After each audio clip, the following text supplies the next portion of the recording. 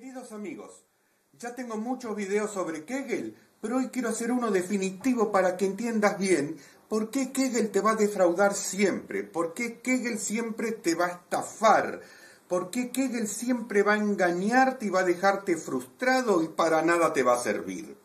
Hoy lo que te tengo que enseñar es muy importante y vamos a empezar con el tema de la Wikipedia y vamos a buscar Arnold Kegel en la Wikipedia y vamos a ver qué es lo que nos dice la Wikipedia sobre este autor. Lo primero que tenemos que ver es que Arnold Kegel es un ginecólogo, no es un urólogo.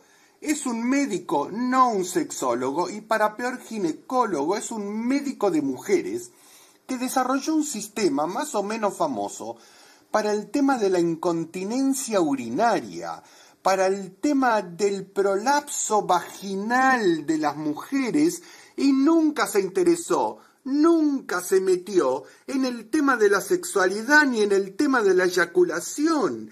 Es una cosa totalmente desubicada que se trate de comparar la salida de la orina con la salida del el semen. Son dos cosas totalmente distintas.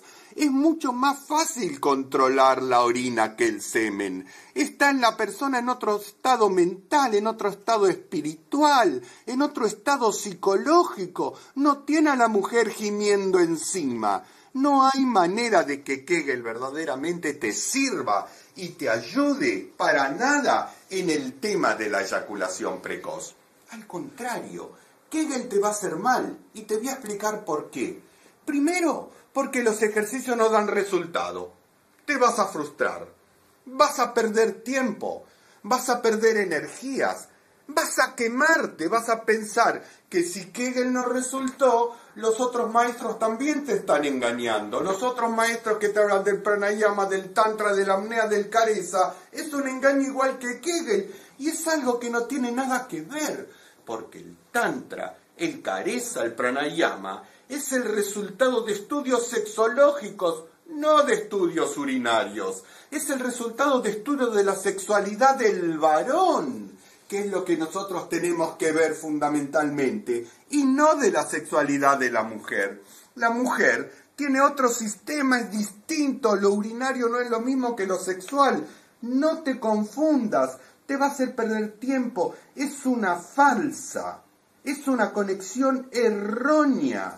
Hay que desenmascarar finalmente a todos los que están vendiendo e-books con consejos sobre Kegel. Olvídate de Kegel. Consulta a un maestro que realmente se interese en el tema de los hombres y de la eyaculación y olvídate esos ridículos ejercicios que te van a hacer mal, que te van a dejar sin esperanza cuando tenés todas las herramientas para curarte verdaderamente con el tantra de la eyaculación precoz.